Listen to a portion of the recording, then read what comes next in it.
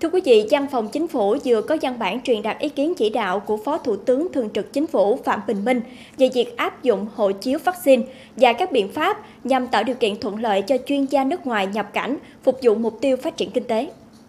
Phó Thủ tướng đồng ý về nguyên tắc nối lại các chuyến bay thương mại quốc tế thường lệ đi và đến từ các nước dùng lãnh thổ có hệ số an toàn cao, có biện pháp phòng chống dịch phù hợp. Bộ Giao thông Vận tải khẩn trương trình Thủ tướng Chính phủ trước ngày 5 tháng 11 năm 2021 về kế hoạch nối lại các chuyến bay thường lệ quốc tế với các nước. Về việc công nhận giấy chứng nhận tiêm vaccine ngừa COVID-19 hoặc giấy chứng nhận đã khỏi bệnh COVID-19, hộ chiếu vaccine,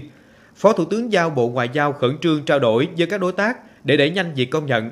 Bộ Y tế chủ trì ban hành thống nhất mẫu hộ chiếu vaccine của Việt Nam ở dạng giấy và điện tử, có cơ chế xác thực điện tử trước ngày 5 tháng 11 năm 2021.